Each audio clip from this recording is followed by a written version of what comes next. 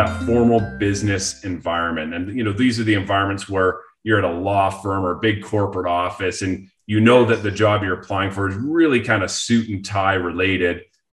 What would you advise an applicant to, to, wear to, to an environment like that? And what are the, some of the smaller things they should be picking up on that will will set them apart from other applicants?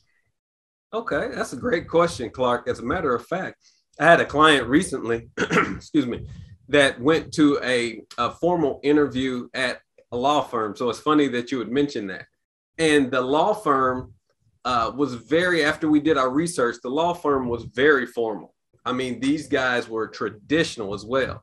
So you can be formal but you could be traditional versus being you know more contemporary in the looks in the formal looks.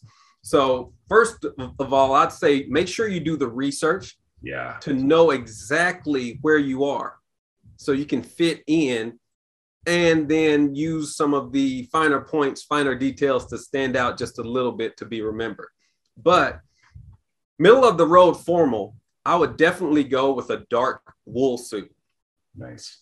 Yeah. And I know a lot of guys are saying, huh, why did he say wool? Wool right. is hot. I live in Arizona. I live yeah. California. but when you're in a formal environment, these guys understand detail and they understand detail to a a fabric standpoint.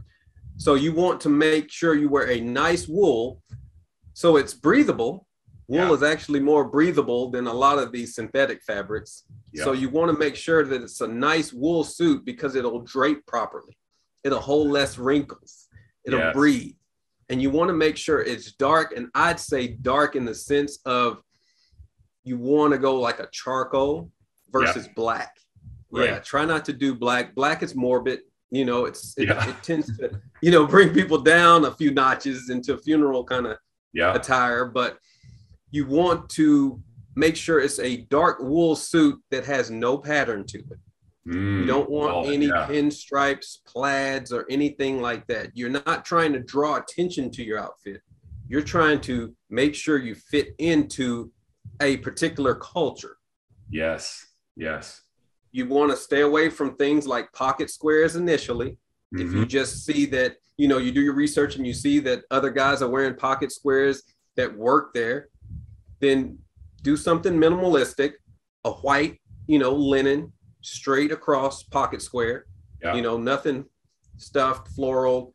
How you stuff it is going to matter as well because they want to know that, you know, you're about the details. You're not coming in too flashy. You don't want people to say, "Hey, look at me on my first day at work." Right. They want to see you in the work environment not as a problem.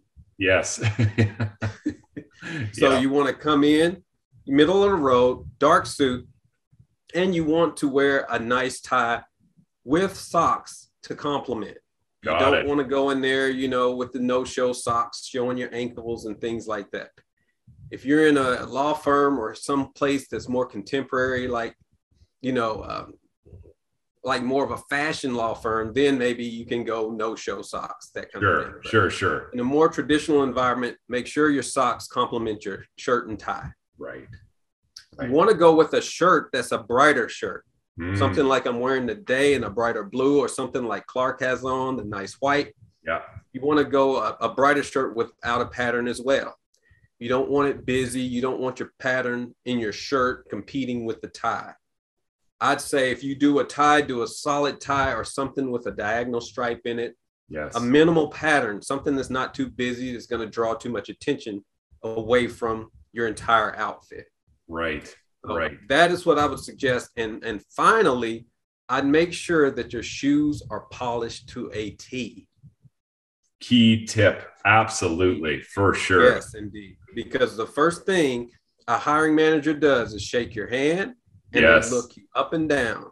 Yeah. And if they see that the details of your shoes aren't taken care of, they may feel as though you won't take care of any of their details. Yes. So specifically. Oh, that is an absolute pro tip there. I mean, there's so many pro tips in what you just said there. Uh, you know, I like the, the little detail on, on, on the shoes, the pocket square. I, I also love how you said research, right? And that is, yes. you know, what throughout the entire recruitment process, I'm always advising clients to research And this is a yes. key area researching the company you're applying for, what that culture is all, all about. Like you said, you know, don't go anything too flashy unless, you know, the culture and the company you're applying for you know can can can stand that a little bit with you know the the no sock approach that, that you talked about there where that would be considered okay that's cool this person understands you know the kind of fashion environment that that we work in here. But you know kind of that middle of the road like you said take that kind of middle of a road approach with solids don't push the boundaries too hard. You're just going in for an interview and you're trying to make that solid first impression. Great advice great advice dwayne. Thank you thank you